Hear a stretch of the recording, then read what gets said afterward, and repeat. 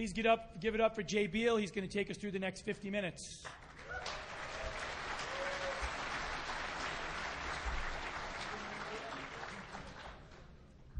Hey everybody, I'll let, uh, I'll let you file in just a little bit while I introduced my co-presenter. This is Justin Searle. He's our newest hired Intel Guardians, and uh, well, he's a badass guy. Um, so he's uh, we'll we'll talk a little bit. We'll talk about a little bit more about him and his contributions to this talk, both positive and negative, uh, because I'm going to blame things on him, um, or at least that's what he thinks. So let's see. Here's what we're doing. I've been uh, I've been doing defensive programs for a long time, and somehow I've well spent about uh, six or seven years now pen testing, and and now and then it, we end up creating some tools. So I'm releasing one, um, and uh, you're going to be able to find this. I'll, um, I've got a URL at the end of the slide. You're going to be able to find this up on Intel Guardian's site. Uh, later this weekend when I get the bugs out. Um, so, um, but I'll tell you all about it right now. So basically, um, the tool that uh, the tool is called the Middler. Um, we tried and go, went through all kinds of names. What's that?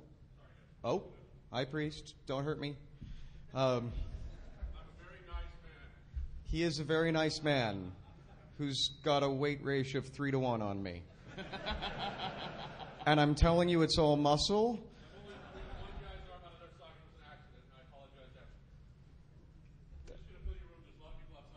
That's great. Fill it up. Okay, so I'm gonna. Uh, I'm just gonna get a little bit of a slow start and let a couple more people in. Um, but basically, here's what we're doing. So I'm, we're going to talk a little bit about, in general, an attack vector shared networks. Um, because we're all on a lot more shared networks than we ever were before, and we probably don't think about it quite as much. Um, so we'll hmm, come on in. Okay, so for those of you watching on video, there are a lot of people in the hall, and we're finding ways to stack them around the room. And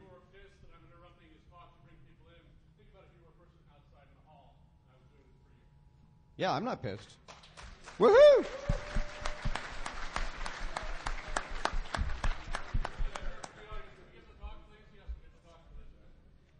Yeah, I think that I think the goons actually deserve quite another round of applause here. Go goons! Woohoo!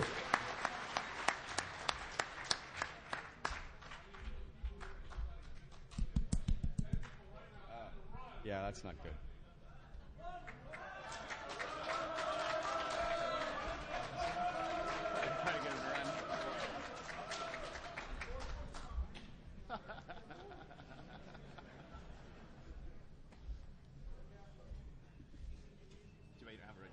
What's that? Too bad you don't have a red cape. A red cape? Make sure to rearrange it because I can't stand in front of doors. So there has to be. Okay, great. Okay, I've been asked to reiterate, and I think it's really, really important because, gosh, if anything bad happens in this room, I'm about one of the last people that's going to be able to get out. So, uh, I want to reiterate that we, uh, you can't block doors. You absolutely cannot block doors. It's not good to block doors. That is how people die. And I do not mean the people that you block from getting out. I mean you as you get trampled really, really badly. Really badly. It's no, no, no fun. So first, don't block doors. Second, keep a clear aisle for some definition of aisle. That means goons should be able to run down, and they may just do it as like a test. And again, the goons are called goons for a reason. So don't block the aisles either. Okay, wow, this is really a lot of fun. I'm, I'm already having fun with this, and it's I, I haven't even gotten to the table of contents. Rock. this is just cool. Um, okay, so let's see. So what we're, what we're going to talk about is basically um, just one of the things I like to do every now and then. I think we all do is basically say what kinds of what kinds of what kinds of maybe bad assumptions are we making, or what kinds of what kinds of issues have we kind of left behind as things that we dealt with a long time ago, or that we figure you know wasn't much of a problem anymore. Um, I, I have my I have my own favorite sets of them. Um, you know, patching's a real fun one. I know patching's like one of the most boring things, but we start going and looking and saying, okay, how long does it take between when someone when the uh, when a Microsoft patch comes out and when it gets reverse engineered and turned into a weaponable exploit, and that number is like under a day by far. Um, and then, you know, we look and we say our average patch time is like three months. I mean, you know, not all of us because we're in this room, but like, you know, nationwide, it's it's it's pretty bad. Anyway, it's kind of patching is one of those boring little things that we kind of left behind, and well, it's actually the thing that's going to kill us one day. Which, from talking to Dan, is basically what's going on with DNS2. Um, and I think he's right. Okay, so but here's what we're going to do. We're going to talk about. We're going to we're going to have a little bit of fun. Um, we're going to talk about shared networks, and uh, not that much. But we're going to talk about what happens when you share a network with me. I mean, uh, with a bad guy, um, with somebody who's up to no good and, and possibly has forgotten their you know laws and all kinds of ethics and stuff like that. Um, and we're going to talk about how you can use these kinds of attacks to, ex- to exploit a good number of sites, um, including Gmail and LinkedIn and LiveJournal, and honestly, tons and tons and tons of sites, um, way, way, way too easily. And we'll talk about how you can do it against sites that are actually not as vulnerable, um, like the on- like online banks. And we'll talk about um, what you can do when you're sharing a network with someone, and you can start trojaning software installation and update. And that was really fun to learn about, and I'll tell you how I learned about that later on.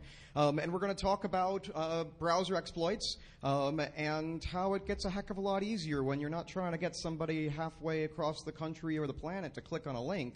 Uh, because you can make them go where you want, and we'll get to that. Um, and then lastly, we're going to talk about what you can do to try to survive uh, hostile networks. Um, I think DEF CON's been rated by, you know, at least 14 intelligence agencies as the most hostile network in the world. Okay, that's made up, but but I could see it being true. Um, I, I, every year I bring a laptop here, and I, you know, when I get home, I, I burn the laptop. No, I. I burned the hard drive. I pulled the hard drive out. It was a fresh one that went in before I before I got here. It didn't have any real data on it. I just installed the I installed some kind of well, it used to be Linux distribution, but now it's it's Apple. But it's a good it's good. Um, Apple, yay. Um, so, uh, but anyway, and you know, I get home and I and I don't torch the laptop anymore because they've gotten expensive. But I torch the hard drive and I like you know, and then I grind it up in little bits and then I kind of wait for a really really really windy day and I go out to like one of the places where they used to test airplanes, like the not like normal airplanes with jet engines and stuff. I mean like the Wright brothers kind of thing. And I try to throw up the hard drive bits into the wind. Okay, well I'm getting way way way off topic. But this is DEF CON, so we get to do because you gotta gotta assume that we're going to that we're gonna have a whole lot of fun, and that's what we're here to do. And wow, this is a blast every single year. Um, so let's see. Um, deal is basically HTTP, or let's call it non-encrypted, non-encrypted web traffic, whatever you want to call it, non-encrypted HTTP, um, and shared networks, networks you share with well anybody bad, or anybody who might want to be bad, or anybody who might spend a little bit of time being bad, and otherwise is a perfectly reasonable DEF CON speaker. Um, uh, you go to these, you go to these hostile, you go to these, uh, you go to all these shared networks. And we don't really think about how many times we share a network. Uh, Right, we all got. I mean, it's it's really been fun watching the security industry, and I mean, watching our community because you know we had to fight so darn hard to get companies and people to use firewalls, and we're not done yet because I. I tell you, one of the most fun things to do is to actually put an outbound firewall on your machine and find out about all the things that well, used to go out without you knowing about it. I put this little thing called Little Snitch on my laptop for a little while, and I started watching all the stuff that was talking to everywhere, and I started realizing there were a ton of people who are still, you know, at home. They're not behind any kind of an ad box. They're not behind, behind really anything of a firewall or much of a firewall, and I know this because well, my, my machine's going and doing Skype to them, and, and it's doing all, it's just, I'm looking at it and saying, oh my gosh.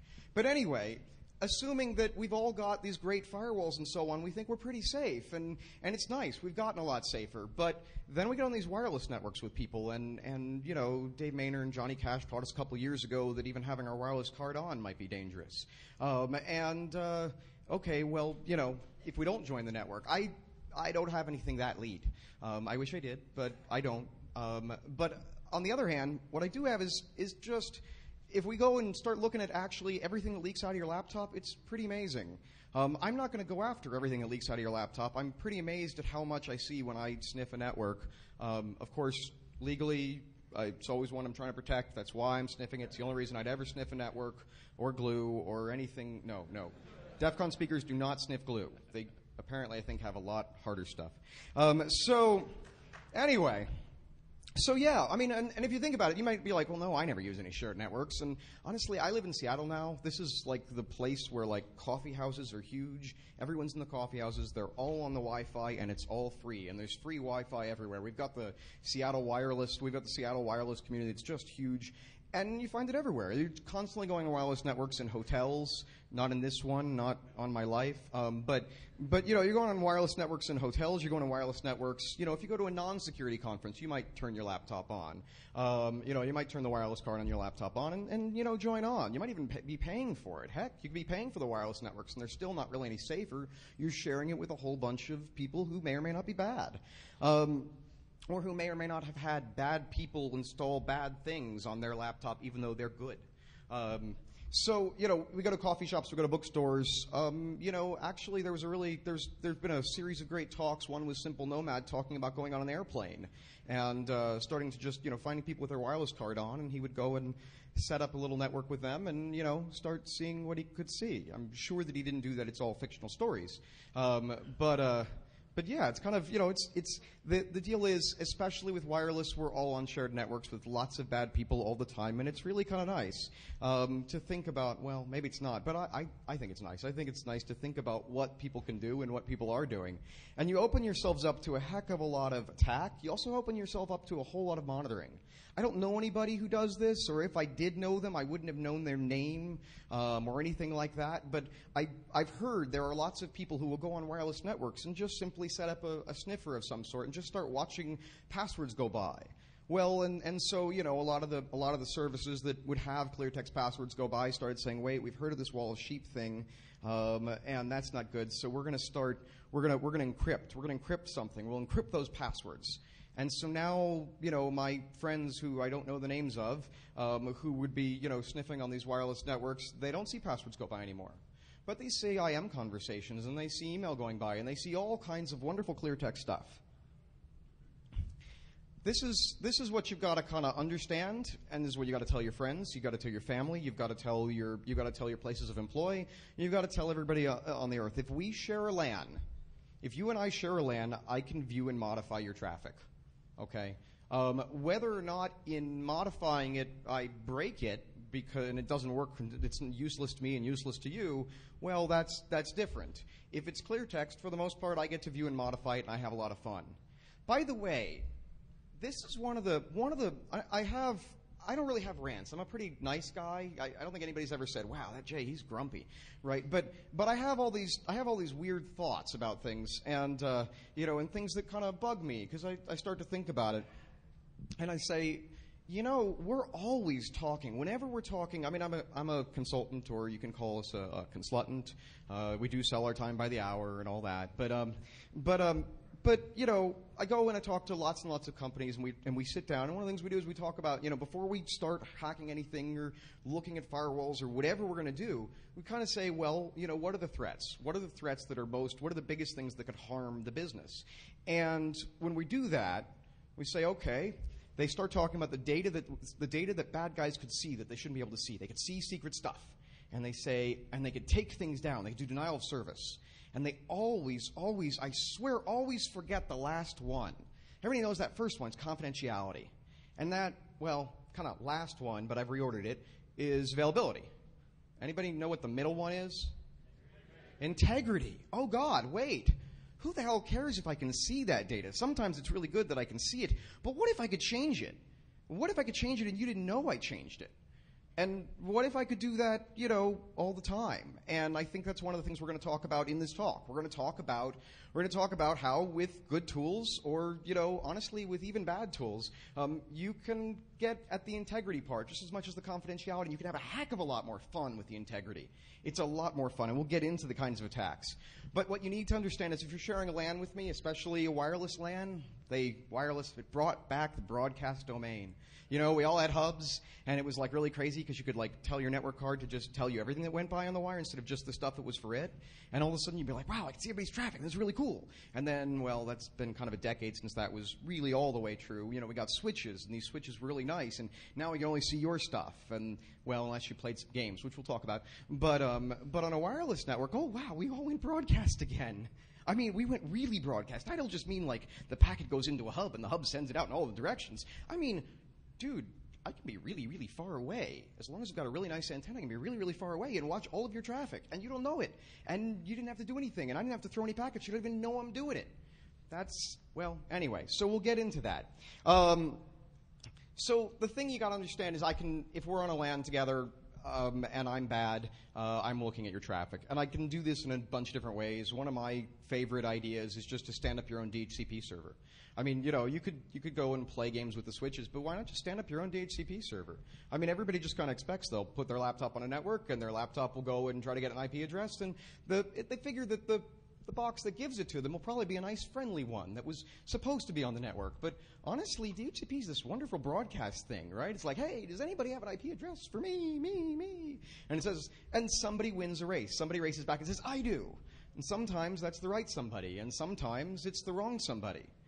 Now, I'm going to tell you guys something. Because we're at a HackerCon, and I've been on a lot of good networks gone bad, um, if you're going to do that to me, if you're going to give me a DHCP lease instead of the instead of the real person, you're going to do any of these network games, please route my packets. I mean, really, how many of us have gone on a network and we're like, okay, the network's down. What's going on? There's some ah, some fools like some fools trying to sniff all the traffic. He sent all the traffic to him, but he's not bothering to route it because he's clueless and stupid or lazy or whatever. Or he stopped a long time ago, but he didn't put the network back the way he found it. Which really, you got to think there's got to be some kind of ethics to doing bad things. I mean, you can be bad. but there's like levels of badness, you know? There's like there's like kind of, you know, there's I don't know, there's like shoving somebody in line or cutting in line, and then there's like you know, eating a kitten. The eating a kitten is really bad. Okay? And I would posit that if you're going to watch my traffic, if you're going to route, if, if you're going to have all, your, all my traffic go to your box, and you don't bother to route it out to the internet where I was trying to get, that's eating the kitten. Just don't do that. Okay, so so here we are. Um, so the DHCP server is a nice way of doing things. Another nice way of doing things, and, and it's amazingly simple and easy, um, is you can run a little tool like ARPspoof or EtterCap or whatever, and you can run a little tool that'll basically say, "Hi, um, I'm the router." Uh, everybody who wants to go out, you come to me. And if you wanted to be really, really careful about it or really, really targeted, you could be like, no, I'm, I'm that one server. That's the really, really highly important server. But honestly, most of us, if we were bad uh, and we were going in, we just, you know, we just want to be a router. Maybe we want to, actually, honestly, in honor of Dan, um, maybe we want to be the DNS server. That's a good person to be too, because you start saying, "Wow, everybody who like asks for www.livejournal.com, uh, uh, that's my laptop." And they're not ever going to know the difference. Anyway, so we'll we'll get to that, but this is I think this is kind of fun. Anyway, uh, yeah, I added the slide. I added a slide I forgot about adding, but I added it. Um, DNS is a beautiful, beautiful thing to an attacker, and we wouldn't be complete if we didn't talk about it. UDP protocols are so beautiful because they're so much easier to spoof, and they're just, it's just, there's just, it's just so much. It makes things worlds easier. And it's a beautiful thing for an attacker. And Dan, I read Dan's slides. I missed his talk before, but I'm going to see it. But, but Dan has some really good ideas here. Uh, DNS is a wonderful thing to an attacker, absolutely. Um, what I really like, you know, on the one hand, you could spoof DNS replies to everybody on the network, and that doesn't go away as a threat. We don't really have much of anything we can do about it. Okay, if you happen to put your laptop on a network at the same on the same network and and I send out a DNS and I send out a DNS request and you watch it go by, you can respond to it. And quite possibly, very often, trust me, DNS spoof is a great tool. You can respond to it faster than the real DNS server. Um, part of that is because, well, you already know the answer, well, the fake answer, whereas it might have to go and do work to find out where, you know, finance.yahoo.com is um, or such. Anyway, um, the other really cool thing about DNS is if you can poison it, if you can poison DNS for like an hour or five minutes or 10 minutes or whatever, you can get an SSL cert. Because honestly, the way they do SSL certs is kind of simple. It's, it's uh, you apply for an SSL cert. If you can get email for the domain for a short time, uh, then uh, you've got the SSL cert. And revocation is really amazingly difficult if it all works. Um, so basically, the people who own the domain for real have to wait for it to expire. Um, so um, okay, well, I'll get to some more. I'll get to some more man in the middle stuff. But I think that this is this is good stuff to think about. We trust our networks way too much. Um, so if we share a LAN, did I go back a slide? Um, hmm. Okay, so let me get on to some of the. Let me get on some more of the meat. I've been playing. I've been man in the middling all of my web traffic for about three months, and I've been having a heck of a lot of fun doing it. And I've been surprised at well how much of it goes by clear text, and how much stuff is in there, and how much stuff is persistent, and and uh, and now I'm afraid of Google too. Um, but I'll get to that. Um, so basically, part of what I want to say is that you know beyond just the straight this website is clear text sites that are mixed between clear text and not so clear text, or between you know HTTP and then whatever you want to call it, SSL, TLS, encrypted encrypted web traffic, they're I'll call them a menace. I think it's a reasonable thing. Um, and the problem is that uh, anytime you're unencrypted, I get to watch. But remember, I'm into integrity. I don't just get to watch. I can clone your session. Okay, I can throw in whatever I want. If I can route your packets for you, and, and I try to say that that's actually pretty easy and trivial, and we all knew how to do that a long time ago. If I can route your packets for you, well, then I can take any of the ones that you know will let me, any of the clear text ones, and you know change them if I want. I could honestly, I could keep them for myself and not send them on to their real destination. And I could send my own stuff onto the real destination. And then when the answers came back, I could hold on to that. And I could send you something else. And if you start scripting this, if you start going programmatic, you can really do a whole lot. Um, I kind of part of the way I got the an idea for this was basically the idea of taking a, a, a user who's signing into webmail and saying, wait, if I can get them onto my webmail server instead of their real webmail server, I can control their whole like email world. I know that sounds really overblown, but really, it's I can sit there and say, okay, well, I don't want them to see this email that came in, so I'm just going to make sure that in the view that they're getting of the data, they never see that email. Maybe they never see any email from this person. Maybe this is, you know, maybe I'm, you know, I don't know. I, let me think of something bad. Uh, I don't know. We're both trying to date the same girl, maybe, um, and you know, this guy's never going to get an email from her anymore. Um, and heck, I'm going to send some email from him to her saying, I don't ever want to talk to you again. Right?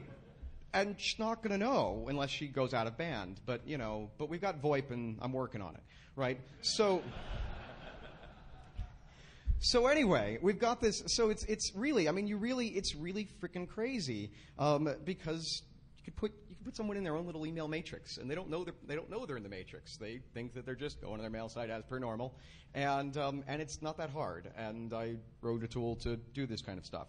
So anyway. Um, one of the this is actually one of the things that got me thinking about this was basically in we were you know we've been doing we do a lot of web app hacking. I do a lot of web app hacking and it's really really fun and it's great stuff. Um, but constantly we talk to we talk to companies and they and we say you know your users are logging in and you're encrypting their password and then after that you're leaving the whole session unencrypted. And they say well we protected the password. You can't get the password and I say the problem is that if I share a network with them, not to be repetitious, but if I share a network with them, I can see everything they send, but more than that, I can impersonate them. And I can impersonate them for, well, about as long as I can manage to keep a clone session. Um, so it's really kind of, I mean, I can, with most applications, I can be in the application, they can be in the application, we can both be in at the same time, we're both the same user, and they may not know, ever know I'm there. They may not ever know what I'm up to. If I'm just grabbing data, they'll never really know. If I'm modifying data, it could be subtle. Um, so anyway, I mean, this is one of the. I take LinkedIn as an example, but I only take LinkedIn as an example because it was just one of the ones I was thinking about. It's one of the ones. It's one of the sites that we all, you know, that I think a lot of people in this room use. But LinkedIn is this great is this great site. You can go to you can like many many people just go to www.linkedin.com and you'll have an unencrypted session. And then when you go to do your password, it'll be encrypted. And then when you're done, you'll go unencrypted. And you could say, no, I'm, I'm not going to be like that. I'm going to make sure that I'm not going to Jay's version of LinkedIn. I'm going to make sure that I'm going to the right one. So you'll, so you'll type https colon slash slash, you know, www.linkedin.com, right? And that'll actually give you some assurance that you're actually getting to the real LinkedIn, not to me instead, and then I'm going to forward things on. Okay, that's that's good. Um, the difficulty is that you'll go that you'll go to that you'll go to that encrypted site, you'll log in, great, and then LinkedIn will give you will, will take you back to clear text. Um, and you may say, well, but I can keep typing HTTPS. And the problem is they keep giving you pages back that have, well, clear text links all over them. So you're just stuck. Um, and that's just how the site operates, and it's really, really no fun. Um, so that's our, that's our red link. That's where you go. So if you change the URL, clicking on any, on any link basically just gets you back to not so SSL, not so encrypted. Um, Anyway, there are there are people out there that have made that have made modifications to browsers. They've gone and gotten plugins. Um, they've do like me and surf through a defensive proxy. Um, and basically, they make it so that all their all of their stuff is going whenever the site will permit it is going encrypted every single time. So they just keep making encrypted, and a lot of applications will let you do that, but not all of them. Um, but anyway, the nice thing for me as an attacker, it's really a lot nicer to be an attacker. I'm telling you, it's like way better to be on the attack side of this one. Okay, as an attacker, all I've got to do is wait for one request to go by, and I get to clone session, and maybe I get to inject some things. I might inject some JavaScript or inject some redirects.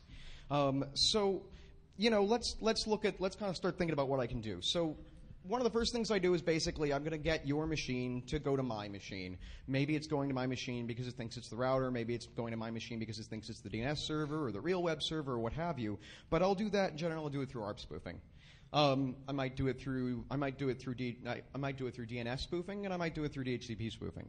Um, and none of that's really all that hard. I mean, there are nice command line tools for everything but the DHCP spoofing. And the DHCP spoofing, well, you can use KP or HPing or whatever, or you can just stand up your own stand up your own DHCP server that has the same settings as the real one, because um, they're kind of public. You can figure out which which IPs are taken, and you know, go and assign the rest. You could be really friendly. Um, you know, I, I I don't know if you guys have seen this, but uh, have, have, thought about this. But this is really kind of the way that DHCP thing works. If I can beat the DHCP server, and give you an answer before the real one does, well, everything's going to work just fine as long as the real DHCP server doesn't give out your address. So if I kind of watch what addresses it's giving out and give you and say, okay, well, it's not going to get to this last 20 for a while, so I'll, I'll give out those. It's kind of like this guy, this happened to my wife like a week ago. It's kind of like the guy that stands out in the parking lot, and the parking attendant in that, in that lot if there is an attendant, doesn't really wear a jacket or uniform, and he just goes up to you know people are parking their cars and says, "Hey, it's five dollars," and you know writes them a receipt and then walks away from the lot, and you get a ticket, and you're like, "What the heck?" Um, this is you know yet another way where you're not really quite sure who you're talking to. Somebody got friendly. They said you can have that spot, no problem. Uh, okay, so what kinds of things you can can you do? I can start injecting clear. I, I, can inject anything into your traffic. If it's clear text, I get to inject anything I want. It's fun. It's really good. I can inject it in, in both directions. So I can inject JavaScript into clear text traffic. I can go and take your session keys. So you know, like HTTP is this really, you know, web is this really, really crazy little protocol that kind of was invented as file transfer for the most part, right? It's, it was kind of glorified file transfer. Pretty fast glorified file transfer, but glorified file transfer with this nice hyperlinking stuff. And then we've like gone and basically made everything web. Um, I mean everything, and we'll talk about that. But it's we've made everything web, and so that's really nice. But the thing is, as glorified file transfer, it doesn't have any state. So we bolted on this weird thing called cookies and said, okay, I'm gonna as the server, I'm gonna I'm gonna go and I'm gonna tell your browser, hey, every time you talk to me, I want you to remind me that you're user number 45, because otherwise I'm not going to know you're saying, you're, that you're user number 45, that you're user J. So I'm going to remember Jay logged in, he gave me his password, and in exchange for his password, I gave him this session ID, I gave him this cookie, I gave him this thing, I gave him a number, I gave him 45, you know, like at a, at a deli counter. And I said, okay, every time you talk to me, remind me that you're number 45 so I can remember that you're Jay so I don't have to ask you for your password every single time. Okay, cool. So we've got this. We've got these session cookies. But if anybody watches that number go by, very much like the deli counter um, or the whatever, or the pharmacy or what have you, they can kind of come up and say, "Hi, I'm number 45," and they say, "Oh, good. I'm so glad to see you, number 45. Here's your prescription." Um, right? This is anyway. It kind of works very much the same way with web apps. So if I've got session keys, if I've got your session keys, if I can see them once well, then that means I can start up my own parallel session. And some web apps are really nice and actually say, wait, there's two of you. And I'll knock one of you off. And I'll probably win the race, but you'll probably notice me. So I guess that's better than if, like, you know, we just were both there and you never noticed me, but it's still not great. Um, so there's other things I can do. I can intercept your logout requests. So you go and say logout, and I'm like, wait, if you log out, I this session this session hijacking thing or this session cloning thing doesn't work so well. So I'm not going to let you log out. You try to log out. If I'm proxying all your traffic, if all your traffic's routing through me, then I'll just say uh, logouts. No, I'm not permitting those. Um, and if I know the application I'm dealing with ahead of time, instead of just you know this is one of the things we this is one of the things with existing tools, right? If I know the application ahead of time and I know this is the logout link well, I could just make sure that anytime you send anything that matches this given regular expression, ooh, regex, um, then uh, I'm not going to let it go by. But I'll let everything else you do go by, just not that one. Okay, so what else can I do? I can replace, and this is his idea. Um, um, it is, I think. Um, at least I think I had it, but then I forgot it. But that's like so many ideas we've all had, because I'm pretty sure every idea I've ever had, somebody else has had before, and not just one, like 15,000. Um, so anyway, this, this, uh, I can go through and I can replace HTTPS links with HTTP links. Um, and this is something really, really cool. This is something that we're actually doing that we're actually doing in the Middler. Um, uh, this is part of the reason the Middler is well not entirely working right now because uh, we added some functionality at the very last minute. But on the other hand, it's cool functionality. It's better. So now, um, well, I'll go into it. I've got a slide on it that talks about exactly how it how it works. So the Middler basically does this. The Middler has two kinds of modes. One is an interactive mode, and that interactive mode is somewhat similar to, to existing tools um, except that it actually is there to make it kind of brain dead easy for you to clone for you to clone other people's sessions. Instead of having to be a web app hacker, instead of having to be uh, or a web app programmer, where somebody really you know can follow this and it takes a while. It takes it really does take a little while with some of these apps to go and profile them and say, okay, well these are the cookies I need and these are the requests that I need and so on. If we we've, we've spent some time, we've spent some time with different apps and said, okay, this is what this is what's log in, this is what's log out. These are the session cookies I need. These are the, these are the things. And what we're doing is basically doing something non-interactive. But I've gotten ahead of myself. We've got this interactive thing, and basically what you can do is if one person is surfing through the if if, if one person is surfing through the proxy unbeknownst to them, um, and you're the bad guy who set up the proxy, you can go to the proxy and clone their session by just, you know, I can just, if I'm going through the proxy and I'm coming from my, I'm coming from my IP address, well, then when I try to go to, you know, when I try to go to LinkedIn or LiveJournal, I'll go in as somebody else, and I can choose the somebody else. But I can go in as somebody else that's on the proxy right now and maybe as many of them. So that part's we're kind of all used to. I mean, we don't do that so much because the existing tools kind of make it easy to watch, but not so easy to actually, well, modify. Again, integrity, not confidentiality. Well, both, but integrity is really fun. Okay, or more to the point, attacking it. Um, so the first part, so we can do this. This is kind of the interactive parts, um, the parts that are, you know you're really going to do, and, and, this is human. This is at human speed, but I, I, like I like machine speed better. It's faster. But at, at, human speed, we can actually go and basically, you know, we can just clone someone's session and make that really easy, and you don't have to go and sit there and figure out which things you need to clone, which things are being changed, which things you need to hold static. Screw that. Let the proxy do it for you. So that's the first thing the middler does, and it's very and it's and it's a and it's a useful thing. We can also just start saying, you know what? As long as you're going to as long as you're going to be able to to clone someone's session, as long as you're going to be able to proxy their session and, and you know look at every single bit that comes through and change whatever you want, we can actually start going through and injecting JavaScript and other links into the page. You can put whatever links you want, but I like JavaScript because it means you can send somebody to links they didn't want to go to. Um, you could put in pictures, as we've all seen, with some really disgusting pictures. Um, you can go through and you know, and we tend to see it here. I don't know why that is, but um, but you can go through and put in your own. And I like this a lot because you turning off JavaScript doesn't really save you one bit. This is part of HTTP. You could go and actually start putting in your own redirects. So you can say, hey, you know what? I'm going to decide that uh, I'm going to decide that every other user, or only these three users, or whatever, are going to be redirected to the site of my choice. And that site of my choice might be, I don't know, it might be my own vanity site, but that wouldn't be nearly as fun or nearly as evil. I could make it a phishing site, but that that's not any that's not all that much fun. What I'd really like to do is redirect them to I don't know Metasploit. Yeah, client-side exploits. So that would be fun. Or I could redirect them over to uh, you know anybody heard of Beef, the browser exploitation framework? That thing's really fun. This guy Kevin Johnson, who's like taught everybody a lot, um, is like got me really into this idea, and I'm I'm I'm blown away from some of the demos I've seen. I need to play with it more myself, but but this is pretty easy. Um, you can you know we can go through and do some of the normal stuff like logging the users the user's whole session, and the middler's actually got some some really nice stuff. Again, trying to go back go and basically take previous tools to a really, really different level. Middler's actually got some stuff in there so that we can parse out the XL that's going by. We can parse out JSON. JSON is JavaScript object notation. It's like what Google uses to send your mail back and forth. So if you can parse it, it like gets a whole lot easier to read somebody else's mail or throw some in there or delete some or whatever.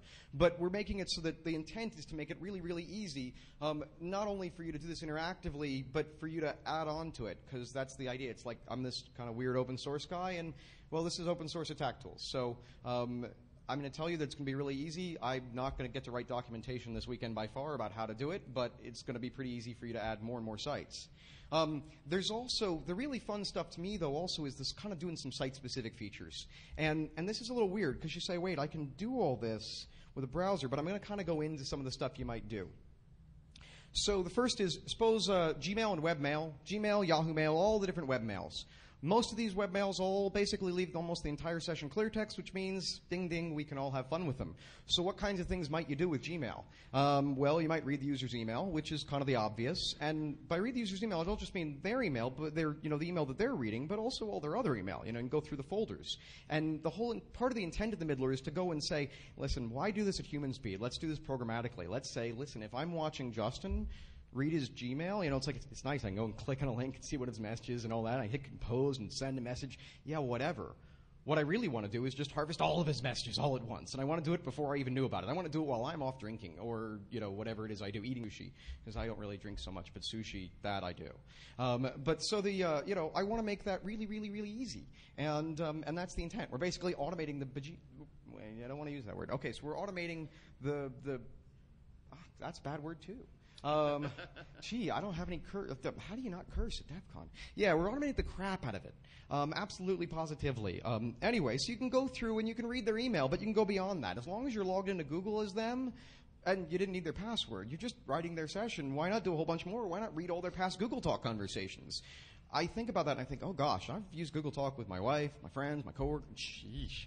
Um, and why not harvest their whole address book? I mean, you know, we probably don't care about that so much, but if you were a professional spammer, professional fisher, professional, well, if you wanted to send client-side exploits to all of their friends or all of their coworkers or whatever, that might be really useful too.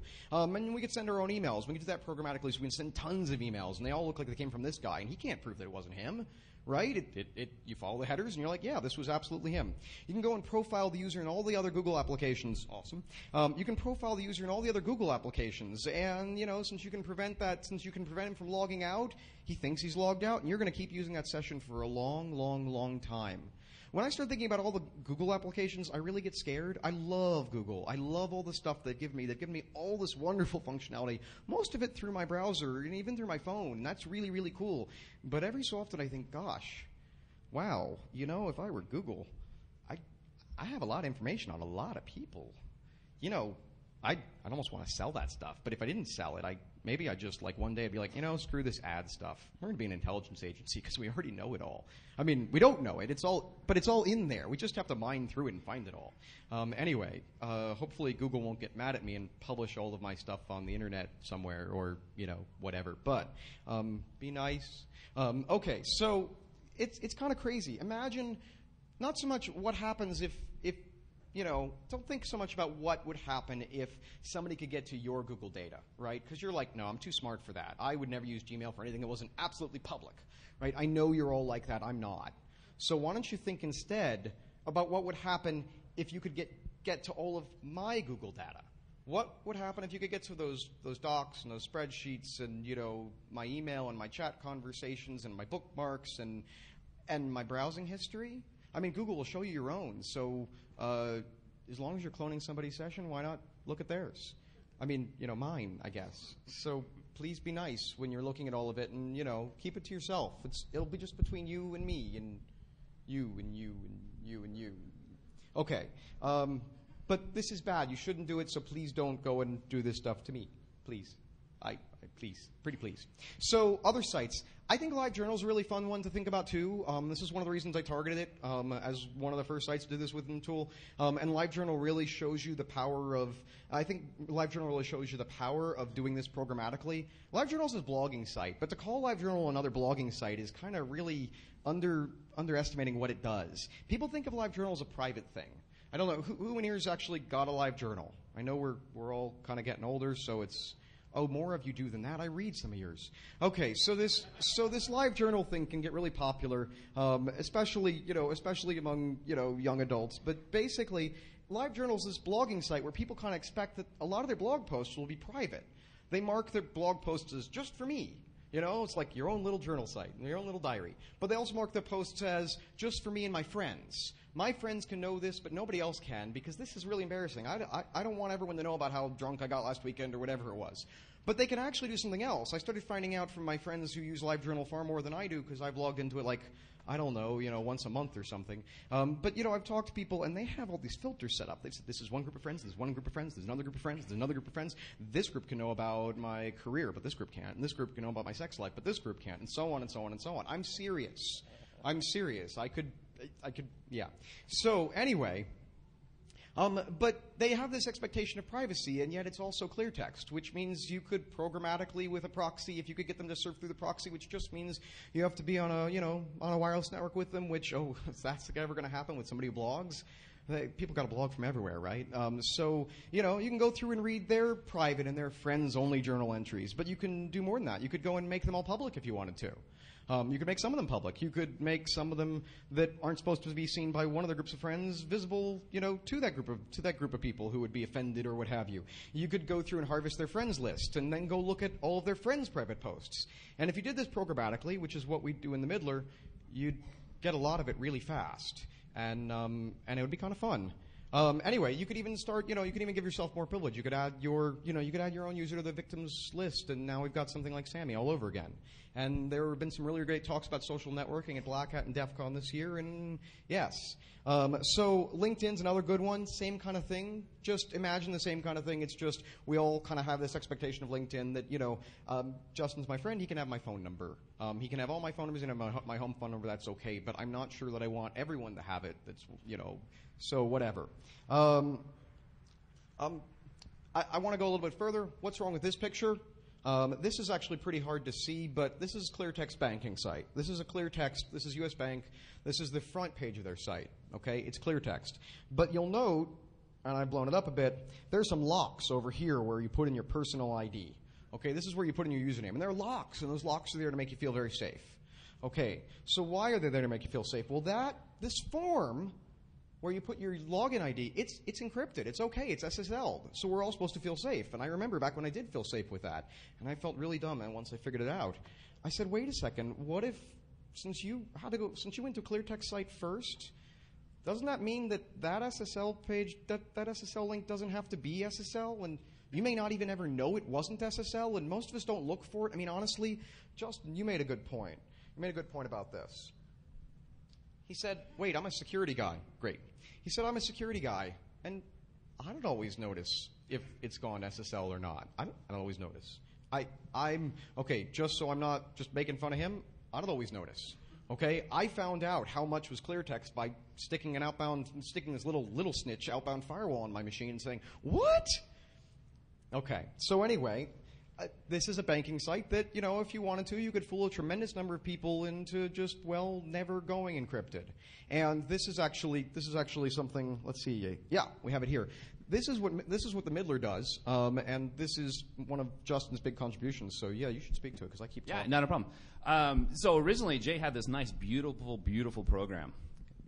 Nice little thing. I came up and, uh, well, it's Python. It's beautiful. Um, and he asked me to go ahead and, and if I could help him out, try to finish up some of the nice functionality for the nice demo for, for everybody here at DEF CON. And I said, sure, why not? Good friend that I am. Get out my nice, little ice pick and start uh, reverse engineering some programs, trying to, to get some nice little point and click stuff in there for everybody. And uh, we started this nice little conversation. I was like, hey, Jay, you know your, your concept right now is, is we have these secure websites and, and your tool only works if the first page is unsecure, if it's unencrypted. And your solution to try to gain some additional information is we're just going to head and try to inject some JavaScript, um, do some other tricks that, that everybody's really heard. Uh, and, and that was kind of the, the backbone of the, the tool. And honestly, part of it was I was just going to wait. I was like, wait, they're going to go through the encrypted part, and then there'll be clear text again. But Justin But- said we didn't have to wait. But wait a minute, we're we're already man in the middling them. We have control of their connections. All their traffic's floating through us. What if, when they go to that clear text password or ClearText uh, first page, we never let them get to HTTPS? In the in the middle, we go ahead and we rewrite all the hrefs inside the page, so that they don't have the S. And that, And- was, and that was where I said to Justin, wait, wait a there's a problem. I've been on lots of apps where you know you try to you, you try to go clear text and it says no no no this part of the application is only available encrypted. So we allow the proxy to go ahead and stay encrypted. And we basically create a proxy that strips out SSL for the client. And then it kind of keeps track. Well, right now in a kind of stupid sin cookie kind of way, but it kind of keeps track of all the things that it all the things that it changed from SSL to not so SSL. All these links that used to be SSL that aren't SSL anymore. It's like, wait, I know that whenever the user surfs to one of those, when they come through me, I got to go and make sure that I change them around again, make them SSL again. So we've got this kind of little kludge, but we kind of like it. It, it, it works. Um, which is we just take the URL that was SSL'd and we throw a little we throw a little cookie in. We were going to do a random number and we probably will eventually, but right now we just it was proof of concept. We did secure four. Um, and you know, so he said to the proxy, he says, okay, if the user is trying to surf to something through me, and I see this, uh, and I see secure four, I know that that means I'm supposed to go and pull the secure four out and make sure that I do that session encrypted. User never needs to do that. We're going to keep things just as they are, hunky dory, and it works really well. And honestly, I'm going to tell you, I, I love my family, but they're not IT people, and none of them will ever know the difference, um, which is really sad because I'm really working on it, but I'm just not that good a teacher. Okay. So yeah, the only, and then the only problem we really have left is is most of us are actually typing in the URLs that are by hand. A lot of the secure websites that we're actually going to, most of us go ahead and just type the, the domain, and, and it pops right up and it redirects us over to the HTTPS. Um, but occasionally we have bookmarks that go directly to HTTPS, um, or occasionally we'll actually type in the HTTPS. So the solution for that is we either simply wait for them to go ahead and have the application drop them back out or move over to another website. Or if you really want, you can go ahead and, and give them a self-signed certificate and, and broadcast to the world. Say, hey, I'm right here, but we all know that uh, how many people actually pay attention to that little thing. Absolutely. But so we have multiple multiple different options there. But given enough time, that person will eventually drop out of SSL mode, eventually find something to click on that is back in SSL mode, and we'll prevent him from ever going back in. Okay, now we're running low on time, so I've skipped a couple slides, but uh, I want to get out of just the application, out of the web application space. Um, there's something else that there's something else I realized, and that was I have a whole lot of software that updates, that self-updates, a tremendous amount of software on this laptop right here that's self-updating all the time. And the first time I thought about it, was like, I was like, wow, if anybody were to sniff the wire, they could find out like what versions of software I'm running. They'd figure out which ones were vulnerable, and they could even send me client-side exploits specifically targeted to the vulnerable software that I have. And since they're watching me try to update, and they know that update's going to take like 20 minutes to download, they can do it while I'm still downloading the update. How about a race condition there? Right? So that's really, really fun. And we've been kind of watching this. We've started looking more and more at this, and uh, there have actually been. I started looking at this and I said, wait, my iPhone. My iPhone's got this. Okay, so any Apple people in the crowd? Uh, could you guys, like, plug your ears? So I might have jailbroken my iPhone, um, and it's possible, or it might have happened to me while I wasn't looking, because um, I went to actually I, I probably surfed to a vulnerable I probably surfed to an a- to a website that was supposed to be all nice, but it, it had an image file that was you know bad. It was bad, and uh, and so my machine it, it, it got hacked. But one of the things I learned with this installer.app thing that was really really cool. I mean, the, the the baddie who hacked my phone, he left me this installer.app thing, and and uh, you know a love for sushi. And um, and I realized, wait a second, installer.app, it's like pulling down a software catalog in clear text.